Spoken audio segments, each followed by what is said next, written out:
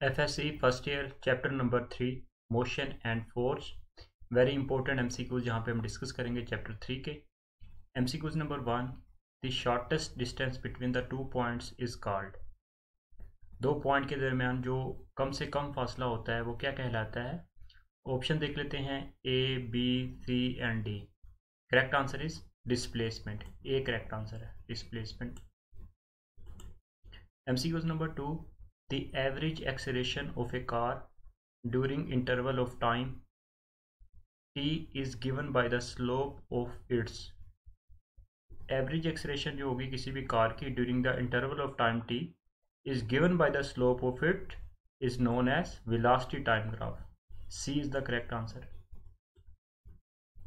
next बात करते हैं MCQs number three area between the velocity time graph and the time axis is numerically is equal to इस MCQs में पूछा हुआ जो एरिया होता है between the velocity time graph और टाइम एक्सिस जो होता है न्यूमेरिकली किस चीज़ के इक्वल होता है? तो ये होता है डिस्टेंस कवर्ड के इक्वल एक करेक्ट आंसर है distance covered MCQs number four a body start from rest the distance covered in time T will be इस एमसीक्यूज में पूछा हुआ ए बॉडी है, वो स्टार्ट उसने लिया रेस्ट से। तो इट मीन्स उसकी इनिशियल वेलोसिटी जो होगी वो ज़ीरो होगी। तो टाइम टी के बाद उसने कितना डिस्टेंस कवर किया होगा? According to second equation of motion S is equal to V I T plus half A T square तो यहाँ पे V I T initial velocity zero put करेंगे तो हमारे पास इक्वेशन रिड्यूस होकर बन जाएगी। Half A T square A correct answer है। नेक्स्ट बात करते हैं। M C question number five Newton's law of motion were published in. Newton's के very famous laws first law second law third law मतलब जो न्यूटन्स के जो laws थे पब्लिश कब हुए थे? इसकी जो डेट थी वो थी 1687 बी करेक्ट आंसर है। नेक्स्ट बात कर लेते हैं। MCQs number six the mass of an object is a quantitative measure of किसी भी बॉडी का जो मैस होता है, उसको हम क्वांटिटेटिव मैयर करते हैं। मतलब वो किस चीज़ को मैयर करते हैं? तो इसका करेक्ट आंसर है, वो है ऑप्शन देख लेते हैं A B C and D correct answer is B inertia कहलाता है। किसी भी बॉडी का जो मैस होता है, वो अनर्शिया कहलाता है। इसीलिए हम कहते हैं, न्यूटन का जो फ़र्स्ट लॉ है, वो अनर्शिया भी कहलाता है। MCQs number seven the frame of reference in which the Newton's first law of motion hold is known as Newton's का फ़र्स्ट लॉ जो है, वो होल्ड करता है। किस फ्रेम ऑफ़ रेफरेंस के अंदर न्यूटन्स का फ़र्स्ट लॉ जो है वो होल्ड करता है? उस फ्रेम ऑफ़ रेफरेंस को हम क्या कहते हैं? तो इसका जो करेक्ट आंसर है वो है inertial frame of reference inertial frame of reference जिसके अंदर न्यूटन्स लॉज ऑफ़ मोशन जो होता है फ़र्स्ट लॉ ऑफ़ मोशन जो होता है वो होल्ड करता है। MCQs number eight laws of motion are not valid in a system which is इस एमसीक्यूज में पूछा हुआ कि जितने भी मोशंस के जो लॉ हैं, वो वैलिड नहीं होते किस सिस्टम के अंदर? किस फ्रेम ऑफ़ रेफरेंस के अंदर लॉज ऑफ़ मोशन जो होते हैं वो वैलिड नहीं है?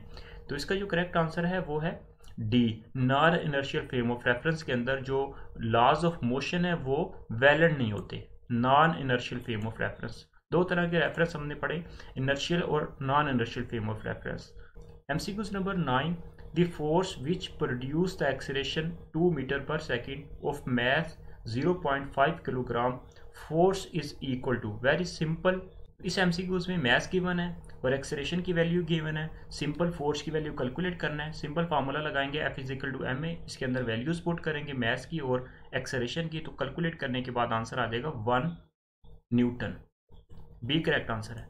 MCQs number ten impulse has the same unit as that of impulse हमारे पास होता है। फोर्स और very short interval of time का जो प्रोडक्ट होता है, वो इम्पल्स कहलाता है। तो यहाँ पे पूछा हुआ है इम्पल्स का यूनिट तो इम्पल्स का जो यूनिट होता है, वो होता है न्यूटन सेकेंड।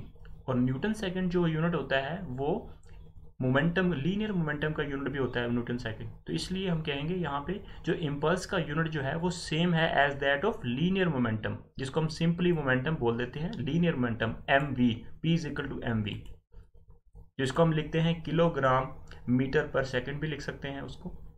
नेक्स्ट बात करते हैं MCQs number eleven the rate of change of momentum is called rate of change of momentum Newton second law in term of momentum rate of change of momentum is called force ये correct answer है M V F minus M V I divided by T is equal to F तो ये हमारे पास है। Newton second law in term of momentum तो force के equal आएगा। MCQ number twelve the change of momentum is called change of momentum जो होता है, वो इज़ इक्वल टू होता है इम्पल्स के equal M V F minus M V I is equal to impulse I की इक्वल होगा। इम्पल्स को आई कैपिटल आई से डिनोट करते हैं। डी करेक्ट आंसर होगा। तो ये दोनों एम सी क्यूज एलेवन और ट्वेल्व दोनों एम सी क्यूज बहुत ही इंपॉर्टेंट एम सी क्यूज हैं। इसको अच्छे से कोर्स से देखिएगा। M C Qs number next बात करते हैं thirteen impulse is produced of force and dash अभी थोड़ी देर पहले मैंने बताया प्रीवियस एमसीक्यूज में इम्पल्स जो होती है, वो प्रोड्यूस होती है force and very short interval of time का जो प्रोडक्ट होता है, वो इम्पल्स कहलाता है। तो फोर्स एंड यहाँ पे सिंपली टाइम आ जाएगा। सी करेक्ट आंसर है टाइम नेक्स्ट बात करते हैं MCQs number fourteen the S unit of the impulse is impulse का एस आई यूनिट क्या होता है? इम्पल्स जो होता है हमारे पास फोर्स और टाइम का प्रोडक्ट होता है तो ऐसा यूनिट होगा फोर्स का यूनिट न्यूटन और टाइम का यूनिट सेकंड। तो सिंपली इम्पल्स का जो ऐसा यूनिट है वो है Newton second. B is the correct answer MCQs number 15 the motion of rocket is in accordance with the law of conservation of law of conservation of linear momentum A is the correct answer next बात करते हैं MCQs number 16 when a fuel in a rocket is burned and eject the acceleration of the rocket इस M में पूछा हुआ है कि हमारा जो रॉकेट होता है, उसके अंदर जब फ्यूल बर्न होता है और एजेक्ट होता है, उसकी एग्जॉस्ट गैसेज बाहर की तरफ़ निकलती हैं तो एक्सलेशन ऑफ़ रॉकेट के ऊपर क्या फ़र्क पड़ता है? क्योंकि हमारा जो रॉकेट होता है, उसके अंदर फ्यूल बहुत ज़्यादा होता है। जैसे ही उसका फ्यूल बर्न होता है और रिजेक्ट होता है, उसके मैस जो होता है, वो डिक्रीज कर जाता है।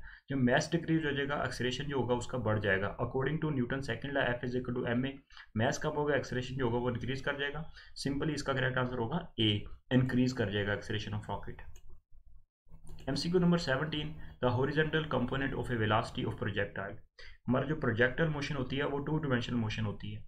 इस MCQ में पूछा हुआ है, जो हॉरिजेंटल कंपोनेंट ऑफ़ वेलोसिटी होती है, वो कितनी होती है?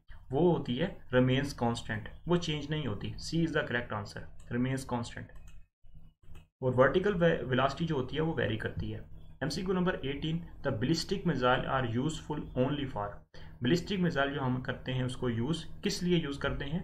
वो हम यूज़ करते हैं ओनली शॉर्ट रेंज जो शॉर्ट रेंज हमारा टारगेट होता है उसके लिए हम बिलिस्टिक मिसाइल को यूज़ करते हैं। M C number nineteen angle of projection for maximum range of projectile is maximum range of projectile के लिए हम कितना एंगल ऑफ़ प्रोजेक्शन यूज़ करते हैं? मतलब हम कितने एंगल पे हम बॉडी को प्रोजेक्ट करें? कि हमारी जो बॉडी होगी, वो मैक्सिमम उसकी रेंज होगी, वो कवर होगी। तो इसका करेक्ट आंसर है बी 45 डिग्री एंगल के ऊपर हमारी जो मैक्सिमम रेंज ऑफ़ प्रोजेक्टाइल उसकी होती है। एमसीक्यूज नंबर नेक्स्ट बात करते हैं। 20 unpowered and unguided missile is called unpowered and unguided missile जो होते हैं, उसको हम कहते हैं ballistic missile very important A is the correct answer ये तो थे very very most important F S C first year chapter three motion and force के एम तो इनशाला नेक्स्ट मिलते हैं चैप्टर फोर में।